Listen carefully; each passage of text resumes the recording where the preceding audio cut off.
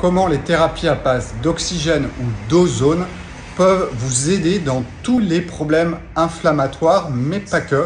Si mesdames, vous avez des problèmes de cystite, si vous avez des problèmes de candidose, eh bien, vous pouvez utiliser aussi l'ozone. L'ozone, c'est quoi? C'est O3, oxygène, trois atomes d'oxygène ensemble, l'oxygène habituel, et par deux, O2. Et quand on va faire des séances d'ozone, eh bien, en fait, on va euh, mélanger entre 80 et 90% d'oxygène et un tout petit peu d'ozone. Pourquoi?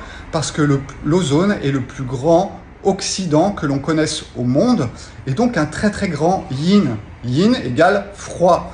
Donc c'est pour ça que ça va aussi agir sur toutes les inflammations. Mais le point le plus important, c'est qu'il agit au niveau bactériologique. Les bactéries n'aiment pas l'oxygène.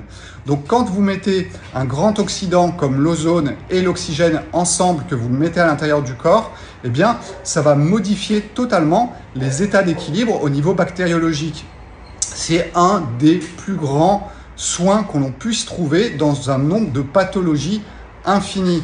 Alors, j'ai connu l'ozone quand j'avais une vingtaine d'années, quand j'ai commencé un petit peu ma formation de naturopathe.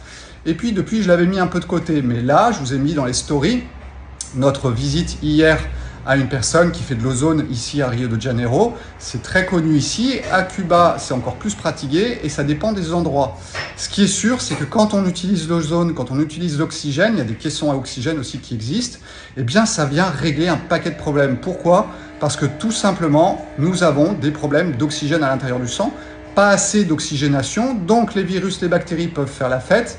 Et c'est comme ça que toutes les pathologies peuvent être amplifiées et si on utilise les injections d'ozone, d'oxygène, alors on peut le mettre dans les oreilles, on peut le mettre dans le nez pour les sinusites par exemple, on peut le mettre au niveau du vagin pour tout ce qui est problème de candidose, ça va passer et traverser jusqu'aux intestins, on peut mettre par voie rectale, il y a plein de possibilités d'utiliser l'ozone, mais rappelez-vous d'une chose, un petit peu d'ozone et beaucoup d'oxygène, donc c'est surtout l'oxythérapie si on devait lui donner un nom.